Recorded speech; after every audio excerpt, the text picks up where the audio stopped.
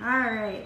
So, first question is what was the main behavior problem or complaint when you came in here with Liza? I came in here because Liza was leash reactive and starting to get aggressive towards other dogs. We'd walk down the street and she would lunge and bare her teeth and snarl and it just wasn't acceptable. She also pulled me down twice.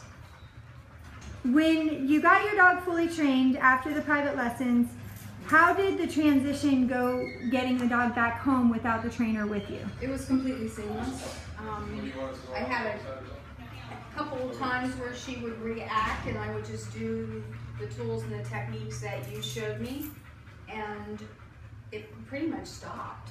I would say 90% of the time now, she doesn't react at all. She doesn't lunge at all. She doesn't snarl about bare her teeth. We're still working on it because that's my problem, not hers. I let her get away with anything. But it was an easy transition. How long did you have to continue to use your training tools after the training? I used them pretty steadily for several months. Um, I'm just now starting to, when did I come? I think it was like December, I think. So I would say January, February, March, I used them every single time I took her on a walk. Now I'm at the point where I don't use them all the time. I just put them on once in a while if I start to see some regression in the behavior and then I do this reinforcement. And then when I go to those grouping classes. But I can walk her. I've actually walked her now where I drop the leash and she stays next to me and we walk my dogs. How did your lifestyle change after you got the dog trained through the doghouse? Oh, it was dramatic. It was absolutely dramatic because I can now walk her down the street. I'm not avoiding other dogs. I have lived in, I live in a neighborhood and we all know each other and most people avoided me when they would see me walking with her because they thought she was really mean.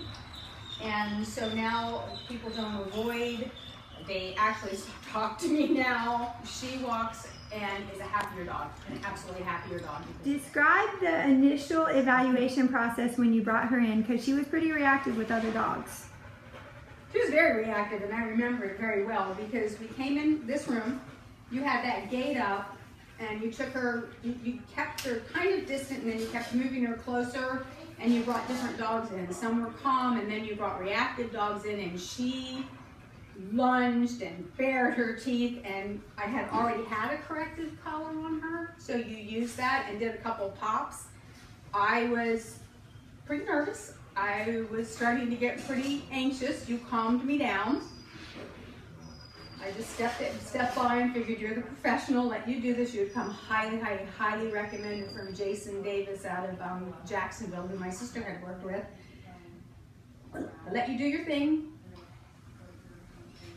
You did it again. Other dogs came in and there was absolutely no reaction and I was stunned. And I was like, okay, I'm good. And the training collar before I had come, I did not want to use this because you read about it and say they're not good. They're the, it's the high quality prong.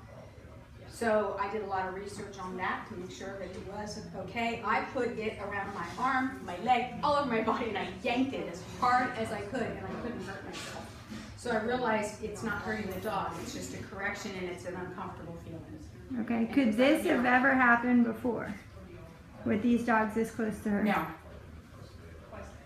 Nice. not with strange dogs, never. Awesome.